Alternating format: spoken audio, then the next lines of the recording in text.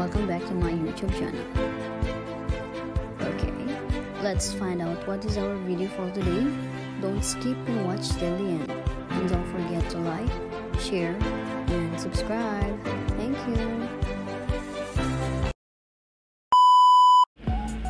Hi guys! Welcome back to my YouTube channel at ngayon pag-uusapan naman natin kung ano nga ba ang OFW Compulsory Insurance at ano nga ba ang mga listahan ng mga insurance company na nakwalipikadong magbigay ng nasabing insurance. Ayon sa Department of Labor and Employment, nag-issued sila, implement, nag-implement sila ng Order number 228 series of 2021 or ang sinasabi nilang expanded compulsory insurance coverage for rehires and direct hires OFW na nirelease noong March 13, 2022. Ano nga ba ang OFW Compulsory Insurance at ano ang mga listahan ng mga insurance company na kwalipikadong magbigay ng nasabing insurance? Ayon sa nasabing memorandum, the mandatory insurance coverage of OFWs provided for under the existing laws and POEA rules and regulations shall now include the rehires or balik manggagawa and direct hires. Meaning to say, sila yung mga OFW na na-rehire or babalik sa same employer or new job sites Or eto, yung mga direct hires or ang mga Pilipino na nakapaghanap ng trabaho na hindi na kinailangan pa na dumaan sa mga recruitment agencies. Nakasaad din sa memorandum that the insurance policy shall be effective for the durations of the migrant workers' employment contract and assures coverage in case of death, disability, repatriations, medical emergency, and litigations.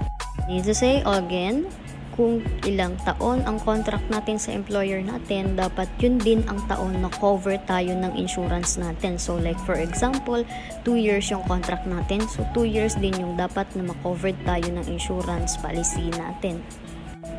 At ang sabi din that it provides for at least uh, $15,000 for the survivor's benefit in case of accidental death and at least 10,000 US dollars survivor's benefit in case of the natural death and at least 7,500 US dollars disability benefit. So hindi lang tayo yung magig magiging uh, benefit mag, uh, makakatanggap ng benefits na to but also our um, mga pamilya natin So, yan yung mga dapat nating malaman sa uh, insurance natin na covered and kung ano yung mga provide nila.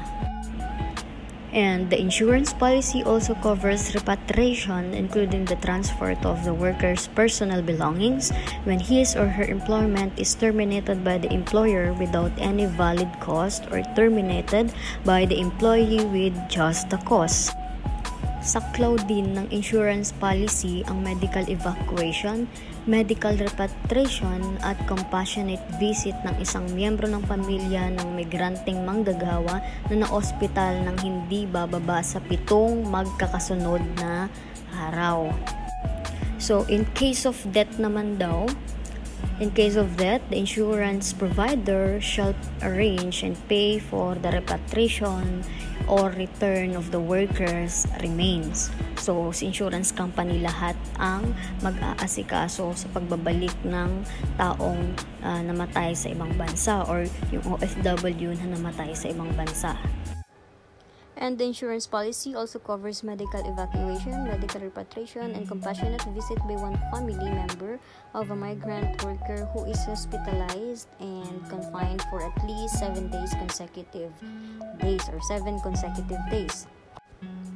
Ibig sabihin nun, sa cloud din ng insurance policy ang medical evacuation, medical repatriation at compassionate visit ng isang miyembro ng pamilya ng migranteng manggagawa na na-ospital ng hindi bababa sa pitong magkakasunod na araw. So, ibig sabihin nun is tutulungan ng um, insurance company na mapalipad ang isang miyembro ng pamilya natin para ikay sunduin at tignan ang inyong kalagayan sa ibang bansa.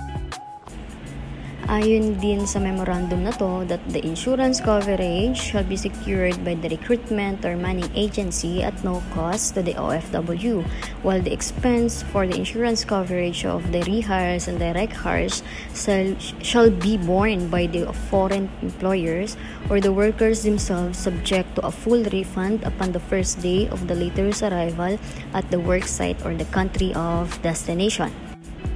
Dito, yung direct hires or rehires, employer dapat ang mga ang mag-aasikaso ng insurance nyo.